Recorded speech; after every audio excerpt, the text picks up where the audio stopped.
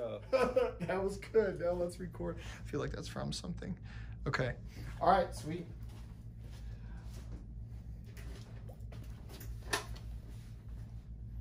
Yeah. Ready? Yeah. All right. We made it. We're here at Sagebrush Coffee. I'm so excited to talk to my friend Matt Kelso. This is awesome. My volume did go up. I didn't know what would happen when I was going to interview him, and my volume went up. This is exciting. Matt is a foodie. He is a roast master at Sagebrush, an entrepreneur, and a church elder at Grace Bible Church. So thanks so much for letting Oh, me come interview you, My man. pleasure. Awesome. Um, so Matt, you and I have known each other for about 20 years, right?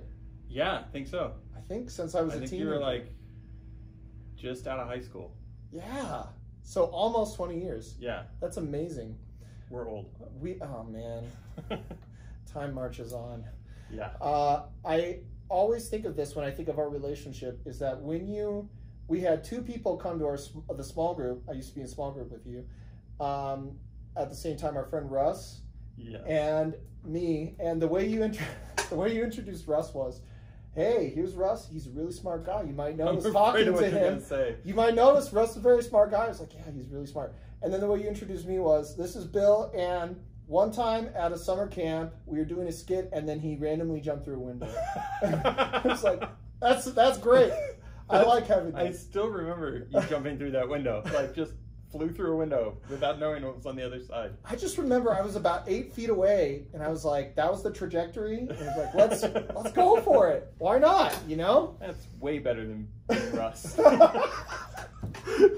Sorry, Russ. I love you, buddy. Yeah. I love you, buddy. Your beard is better than mine. Yeah, Don't worry. better than it. everyone. Yeah, it really is. It's a theologian level beard.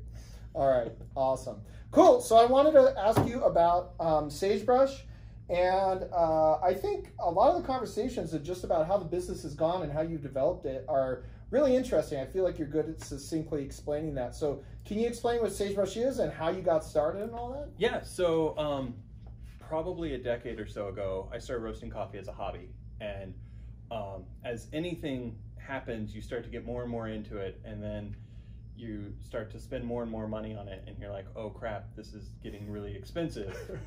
so I had this brilliant idea of, hey, if I just start a business, then I can deduct all my equipment and use it as a tax deduction. And as my wife and I started going down that path, we're like, well, let's just go after it. So that um, holiday season, we launched the business. We sold to friends and family. We made way more money than we thought we could ever do. Um, and so the next year, we kind of moved and put the whole business on pause. And July rolled around, and we're like, let's go after this. And so we built a website and started selling out of our garage, roasting out of the garage. And here we are eight years later, and this shop we've completely outgrown. We're in the process of moving to a new one. Um, I've quit my full time job and I'm doing this, and um, it's just been a huge blessing. So, That is so exciting. It's so great also that there's a roast out there being promulgated throughout the country from Sagebrush that is less than after Full City Plus. That's the exciting thing. You're preserving a lot of the flavors. I love it. Yeah. Um, beautiful. And your business, one thing that's interesting about it is it's mostly online. I understand that most coffee shops start with the physical storefront and Yeah, then move, but as, as a kind of, you know, when I started out in my garage as a hobby, you don't really know anyone in the food industry or in the coffee industry.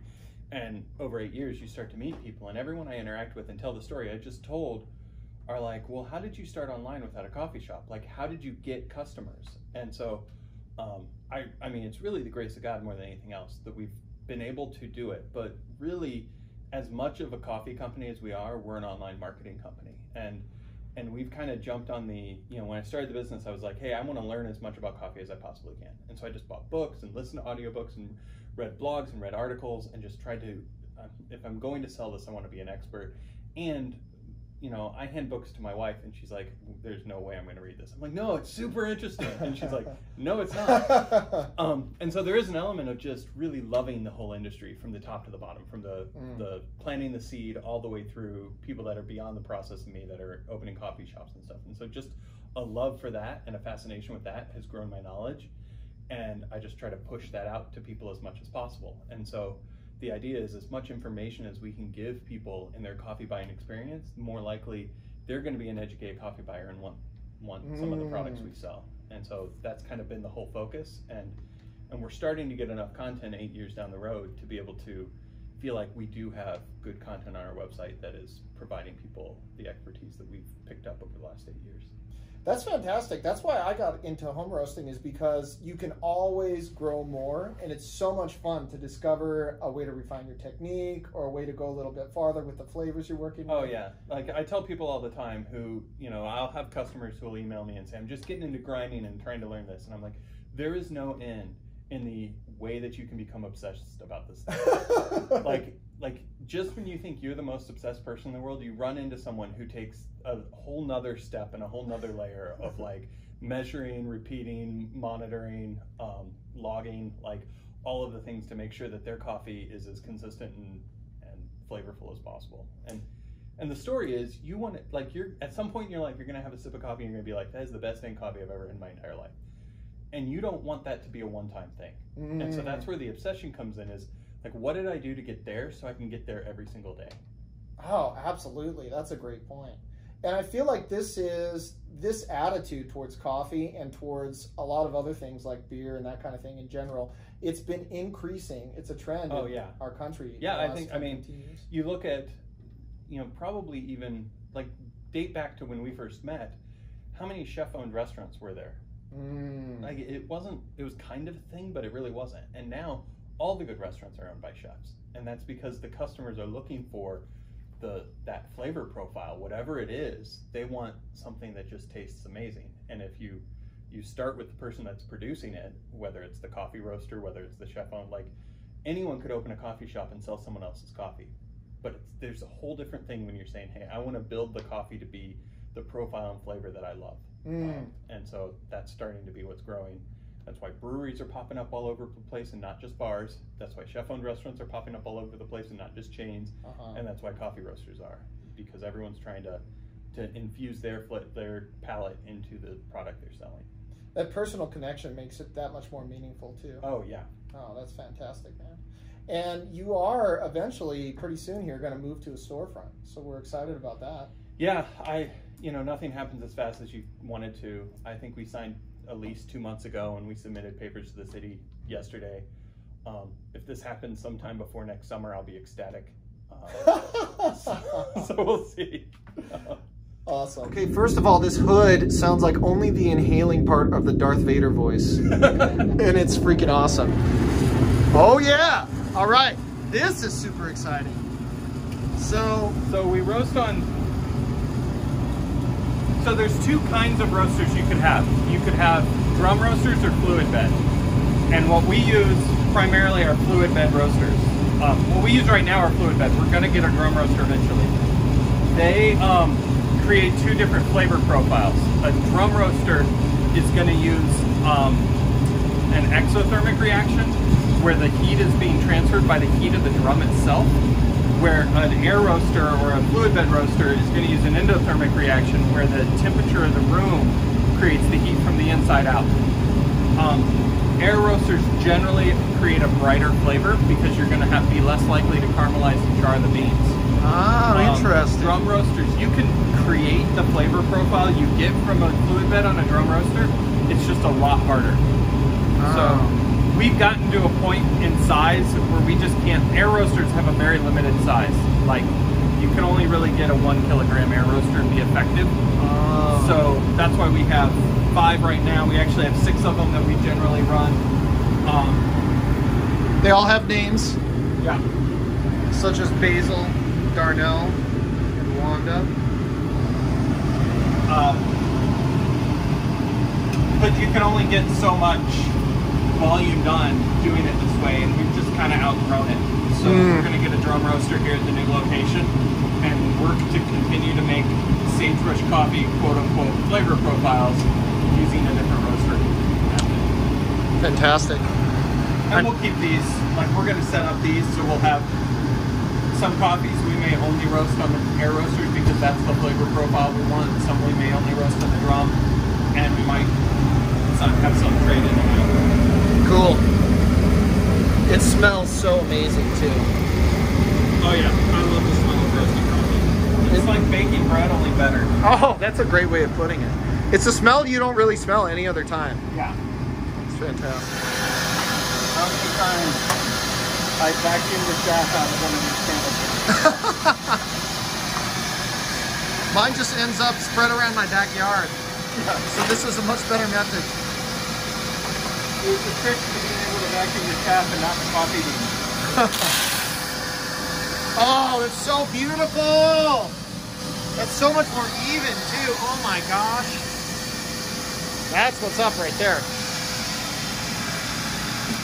All right. So we're back. We roasted. It was tons of fun. Matt's a much better roaster than I am. Good news. Good news for you. I'm out of practice. Still much more in practice than I would ever be. This is a coffee beer that I made previously. It's actually with a different bean. Um, and uh, we tried it before, and uh, the yeast that works really well with it, it's got the California ale yeast, which I think really um, brings out the maltiness, rounds it out. It brings out hop characteristics too. Works really well with porter styles. So let's get into this. And um, I remember a critique that we had last time was that the coffee tasted stale, which is a really interesting thing that we need to learn to counteract. So cheers. Cheers. All right. No COVID. Mm. So tasting this a little later, I'm hit with the impression that the coffee's blended more with the malt. It's really interesting. Yeah. Um, I don't taste the flavors as sharp, but it's definitely there, almost in the front of the experience. What's your impression with it? Give me a minute. Yeah. Sip as much as you need to.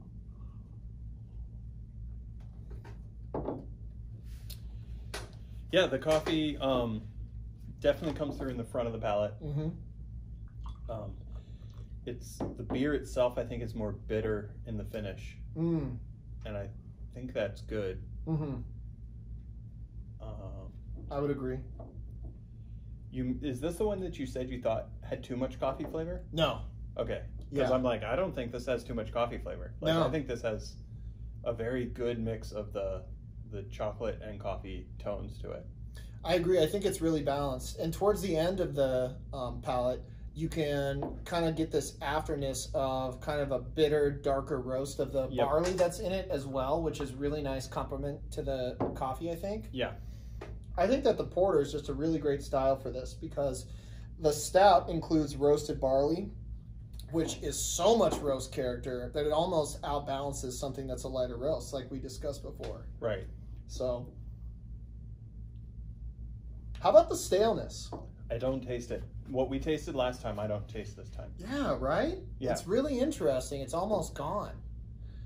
Maybe a little bit in the aftertaste, um, Mm-hmm.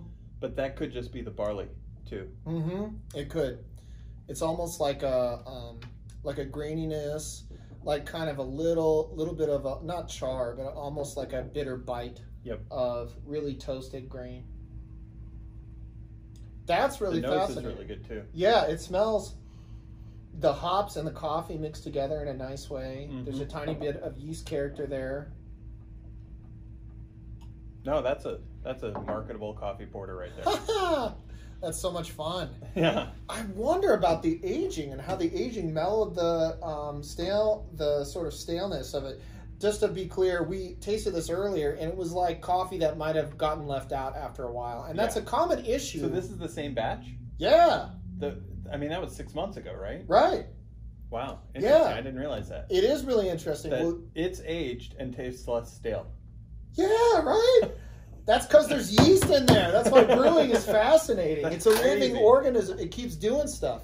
It, you know, and actually, like if you're brewing and you make an error with something, yeast can actually clean up a lot of the errors. Or That's if it, interesting. yeah, or if it ferments under stress and releases. Man, we should put yeast in coffee. That would make it easier for me to. Seriously, just fix everything. Yeah. If you need to enter a brewing competition, just wait another year. Just wait another year. That's not gonna work with coffee. No, not at all. No, uh, quite the opposite.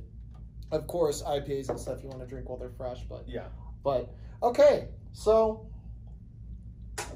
that's really interesting. Well, let me finish. I'm going to finish this sip. And then yeah, it's just that gross thing of cleaning out my cup. oh man, that's a good idea, dude. I was gonna go rinse, but I'll just do this. No, I'm too lazy. I'll just drink terrible. Terrible, whatever that Yeah. was. So to go on, Coffee water? yeah, right. water? Oh, in other words, decaf, right? Yeah. Coffee water, useless brown water. Yeah.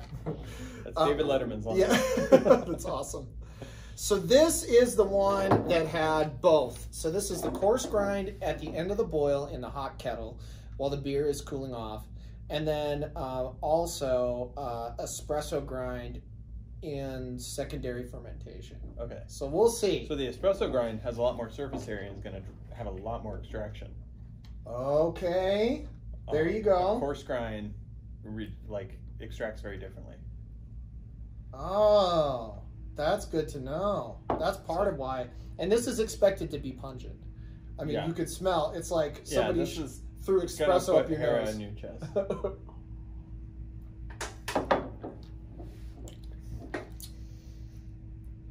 what this strikes me as, it's like drinking espresso that's just very dense or something. I Yeah. don't know. That's what the equivalent of But it it's to not me. even espresso because of the brewing method. It's like Right. drinking cold brew concentrate, There you go. Like There you go. um, which you really shouldn't do. no, it's not a good. This is not the best beer. No. But it's interesting. You gotta you got you've got to analyze your failures as well as your successes.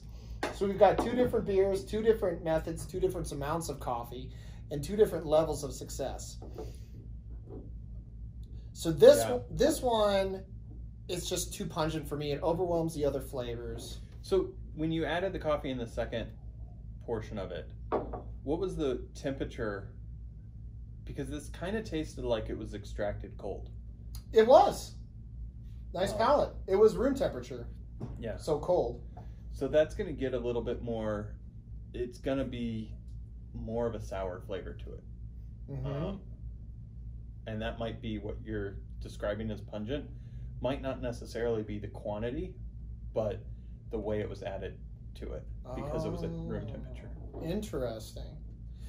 I feel like that that sourness would be mitigated if the roast was darker. Is that are my instincts right there or no?